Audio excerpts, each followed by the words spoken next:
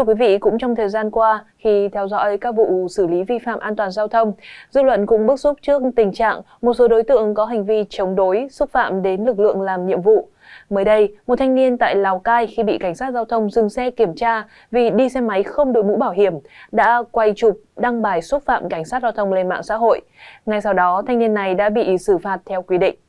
Ngày 2 tháng 3, Công an huyện Mường Khương, tỉnh Lào Cai cho biết đã tiến hành triệu tập làm việc và lập biên bản vi phạm hành chính đối tượng có hành vi lợi dụng mạng xã hội để cung cấp chia sẻ thông tin sai sự thật, xuyên tạc vu khống xúc phạm uy tín của cơ quan tổ chức, danh dự nhân phẩm của cá nhân trên địa bàn. Cụ thể, ngày 26 tháng 2, trong quá trình thực hiện nhiệm vụ tuần tra kiểm soát tại thị trấn Mường Khương, huyện Mường Khương, lực lượng cảnh sát giao thông phát hiện NVQ sinh năm 2006 điều khiển xe máy không đội mũ bảo hiểm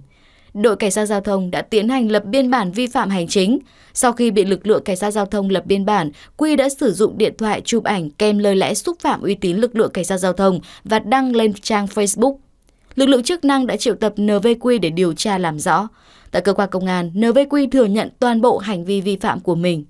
Đội an ninh công an huyện Mường Khương đã lập biên bản vi phạm hành chính và tham mưu trưởng công an huyện Mường Khương ra quyết định xử phạt đối với NVQ số tiền 3 triệu 750 ngàn đồng và buộc gỡ bỏ và tin bài có nội dung vi phạm. Thực tế khi mà tham gia giao thông, một số bộ phận người dân vẫn chưa hình thành thói quen đội mũ bảo hiểm. Điều này không chỉ vi phạm luật giao thông đường bộ mà còn có nguy cơ gây nguy hiểm cho chính bản thân người tham gia giao thông. Chính vì vậy, hy vọng rằng mỗi người dân khi ra đường đều có ý thức chấp hành nghiêm luật để đảm bảo an toàn cho bản thân và những người tham gia giao thông khác.